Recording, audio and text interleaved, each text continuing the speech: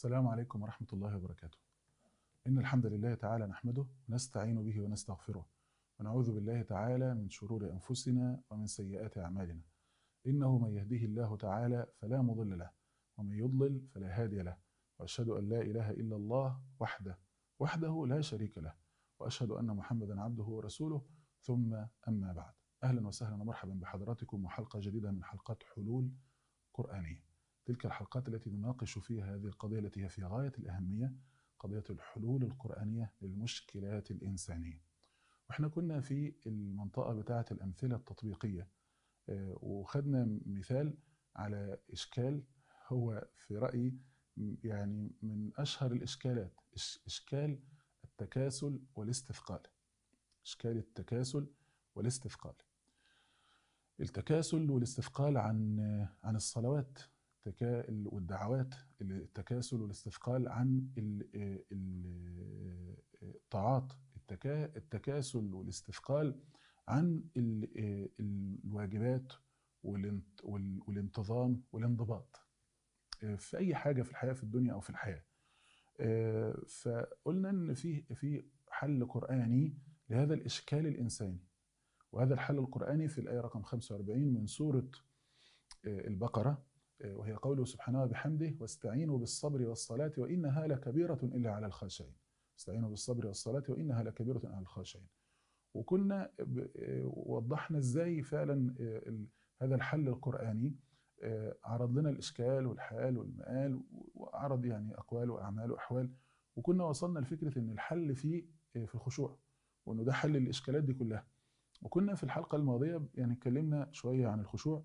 وقلنا إيه هو الخشوع ده وإيه حقيقة الخشوع؟ إيه الصورة اللي صفات الشخص الخاشع ده؟ إحنا عايزين يعني كيف نص يعني كيف نعرف أننا خشعنا؟ يعني كيف نعرف أننا خشعنا؟ كيف يحصل هذا هذا الخشوع؟ لأن للأسف الشديد بعض الناس بتربط ما بين الخشوع والدموع. وفي الحقيقة ال ال الأولى الربط بين الخشوع والخضوع. والخشوع والخضوع. إنما الربط بين الخشوع والدموع مش أساسي. يعني ممكن يكون إنسان خشع لكن ما, ما, ما يعني يعني مفيش مفيش دموع مفيش بكاء. زي برضو الربط بين التدبر والايه والبكاء. مش لازم يكون في بكاء. التدبر ده حركة القلب. ممكن القلب يتحرك وما يحصلش البكاء ده لأن البكاء ده دايرة من دوائر التأثر. في ثلاث دوائر تأثر في دائرة التأثر القلبي في التأثر النفسي وفي التأثر الجسدي.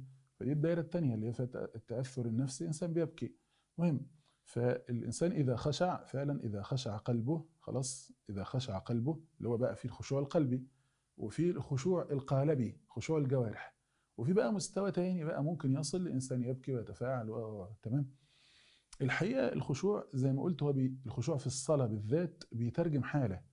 بيترجم حالة واحد مش بس مش بس هو أجاد التعامل مع الصلاة لأ. ده أجاد التعامل مع الذكر أجاد التعامل مع الدعاء أجاد التعامل مع الصوم لأن هو الصلاة فيها صبر فيها حالة صوم أصلا.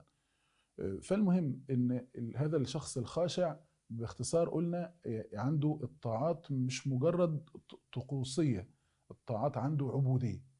عبودية يتجلى فيها يتجلى فيها أحسن اتصال برب البرية سبحانه وبحمده. عبودية يتجلى فيها أحسن اتصال برب البريه عشان كده عنده هو الصلاة صلة القلب بالله.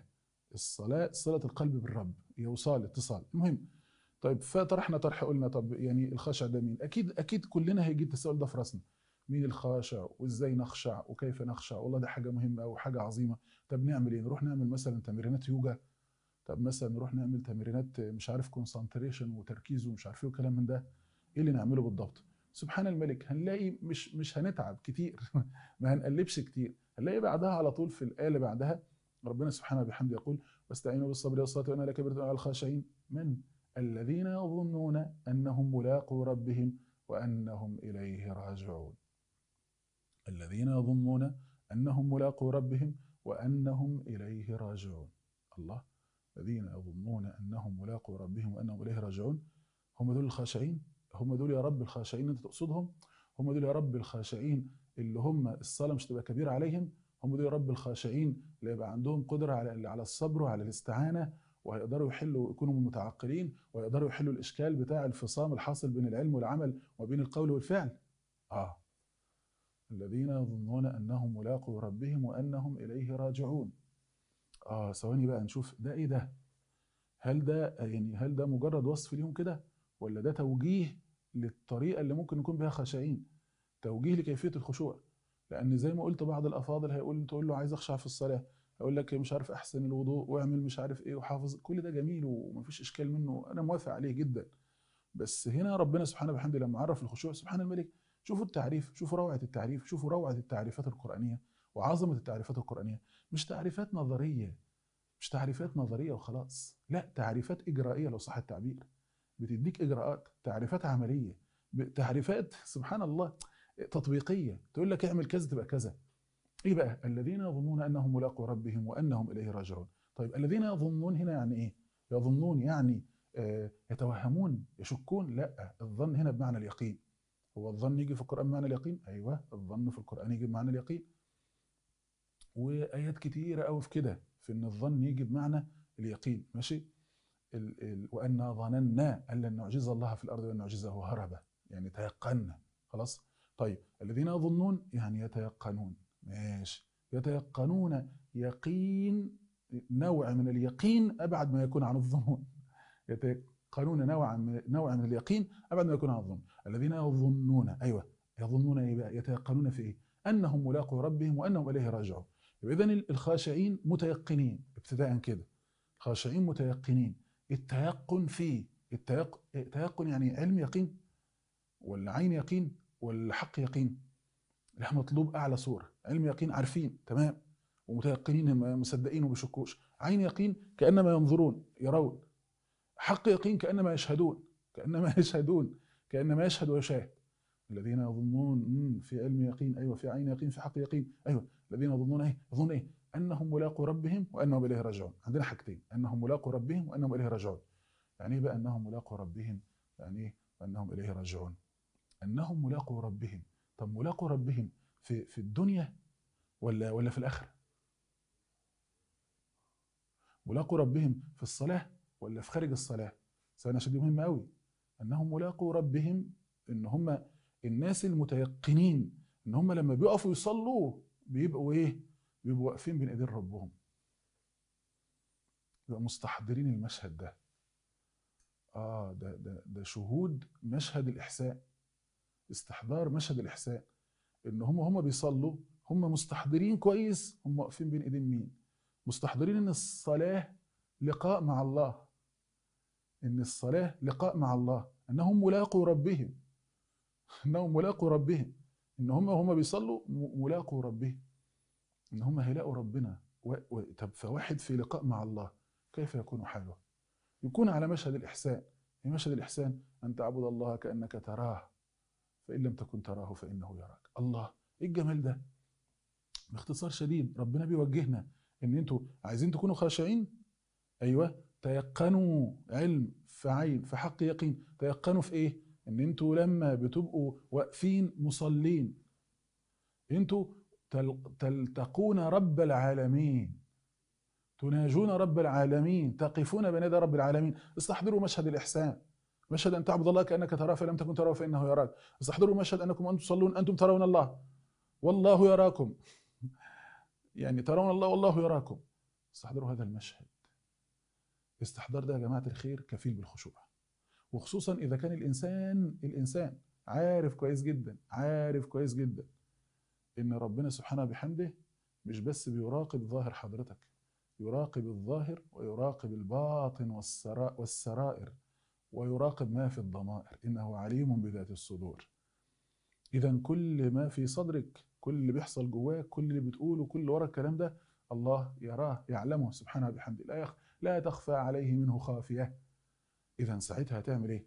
الكلام ده والله العظيم بيحصل والله بيحصل. بيحصل لما تلاقي عندك صنايعي الصنايعي ده شغال مش عارف بيعمل حاجة معينة بيصلح جهاز ولا بيعمل حاجة في البيت ولو انت واقف على رأسه بتلاقي أداؤه مختلف جدا عشان انت واقف على رأسه. لو انت قاعد قدامه كده تلاقي أداؤه مختلف جدا. فتخيلوا بقى لو انت بتصلي انت مستحضر ان انت فعلا ان انت ترى الله ترى الله أمامك.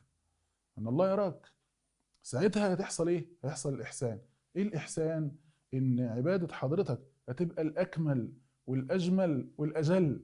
هتبقى على الأحسنية. هتبقى أكمل ما تكون وأجمل ما تكون وأجل ما تكون وأشمل ما تكون وأفضل ما تكون. هتبقى أحسن صلاة. هتبقى أحسن صلاة. ليه؟ لأن أنت استحضرت فيها أنك ترى الله. مشهد الإحسان الذين يظنون أنهم ملاقوا ربهم. ملاقوا مين؟ ملاقوا الله. لا ملاقوا ربهم يعني إيه ملاقوا ربهم؟ أنت ملاقي ربك. ربك اللي ليه الإيجاد والإعداد والإمداد والإسعاد.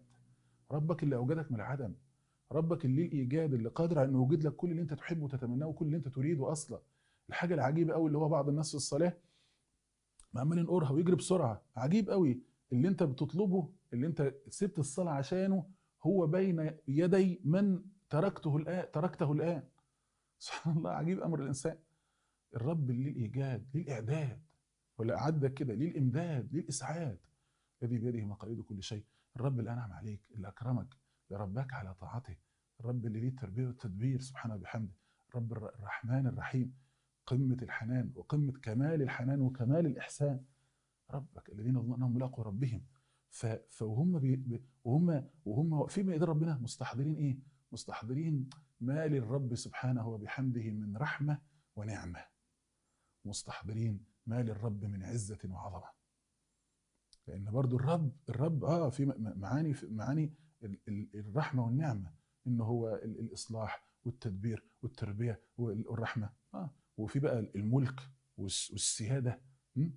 في الناس بس بتتخيل إن الرب إيه؟ آه اسم الله الرب يعني في بقى معاني الإيه؟ معاني تبعث على المحبة الشوق والمحبة والرجاء والرغبة. لا في معاني برضه تبعث على الخشية والرهبة. معاني تبعث على الخشية والرهبة. فحضر الناس ما مش متخيلين دي مش متصورين دي مش متصورين هم هم واقفين بين مين؟ يقفون بين يدي رب العالمين سبحانه بحمده. يقف بين يدي رب العالمين سبحانه بحمده. الذين يظنون أنهم ملاقوا ربهم. يا سلام! فلو استحضر العبد مشهد الإحسان ومشهد إنه واقف بين ايدين مين؟ واقف بين ايدين بين يدي مين؟ الله الله الله سبحانه بحمده. بين يدي الرب. الذين يظنون أنهم ملاقوا ربهم ربهم. وأنهم إليه راجعون. وأنهم إليه راجعون. طب إذا كان الذين يظنون أنهم ملاقوا ربهم دي كده كأنها الوسيلة الأولى كأنها الأداة الأولى كأنها النقطة الأولى اللي من خلالها نقدر نحقق الخشوع ونبقى فعلا من الخاشعين مش بس في في محاريب الإيمان والصلاة بل في محاريب العمران والحياة. هل ده كده خلاص ولا في حاجة تاني؟ لا في تاني. وأنهم إليه راجعون. يعني إيه دي؟ وإزاي هتساعدني على الخشوع؟ وإزاي فعلا أقدر أفعل الخشوع في حياتي؟ ده اللي هنتعرف عليه بإذن الله. في الحلقة القادمة إن قدر الله اللقاء والبقاء.